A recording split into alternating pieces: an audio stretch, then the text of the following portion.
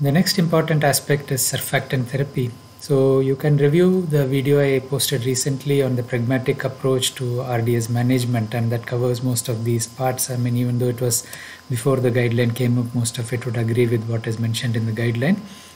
If a premature baby less than 30 weeks gestation requires intubation for stabilization, they should be given surfactant. So that is well agreed. These babies have already been intubated and very high risk of RDS. So the earlier you give surfactant, the better. So you can give surfactant to these babies. And babies with RDS needing treatment should be given animal derived surfactant preparation. At the moment, we don't have a synthetic surfactant which is marketed uh, with appropriate evidence, even though we are likely to get something in the pipeline soon. Lucinactant has been withdrawn from the market, so we have to wait for the next product. LISA is the preferred method of surfactant administration. So this is based on recent evidence. Again, I have just published another video looking at the non-invasive ways of surfactant administration and either LISA or INSURE can be used according to what your unit practices. The guideline is suggesting LISA uh, as a preferred method. Uh, laryngeal mask surfactant may be used for more mature infants more than 1 kilo. So uh, again I've discussed that in the other video, I'll refer you to that. So don't be fixated on which non-invasive way. The main uh, aspect which is going to damage the lung for risk of BPD is prolonged ventilation. So as long as you're not intubating and keeping the baby intubated for a long time, you can use whatever suits you best. I have used INSURE mainly in our unit and it works quite well. In practice, the BPD rates are lower than what is reported elsewhere. Uh, for poractant alpha, we all use a 200 milligram per kilo uh, higher dose, initial dose, because it has shown reduced need for further surfactant as well as improved survival. For uh, uh, you use 100 milligram per kilogram. If you're using a second dose, you go to 100 per kilo for Poractant as well.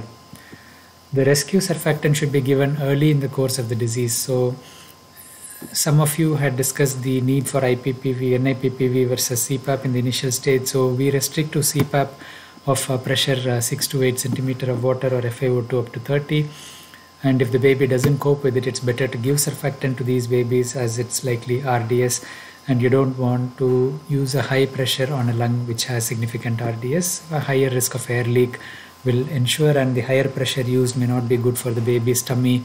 A higher risk of SIP possibly is there. So if the lung ultrasound uh, suggests you can decide on the surfactant and please as I've discussed in the video on the pragmatic approach remember that all of these the FiO2 RDS risk and uh, the findings on X-ray are variable. It's an evolving disease, so you need to be careful about it. A second and occasional third dose of surfactant should be given if there is ongoing evidence of RDS, like persistent high oxygen requirement, after other problems have been excluded. So most of the time we don't need more than two doses. I have not needed a third dose recently. And even the second dose is very infrequently needed these days. If you have used uh, less invasive surfactant for the first dose, you can use it for the second dose if the baby is coping otherwise.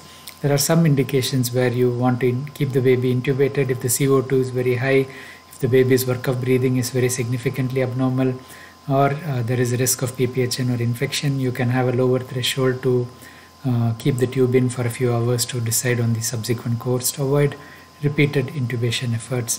So this is a summary of uh, what we have for surfactant therapy.